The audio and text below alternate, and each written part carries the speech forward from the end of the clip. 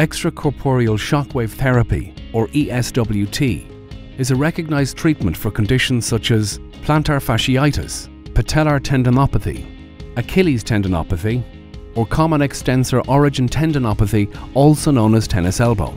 When your condition has been diagnosed, your examining physician may elect to use ESWT as part of your treatment process. The process and equipment involved are explained thoroughly by the administering physician.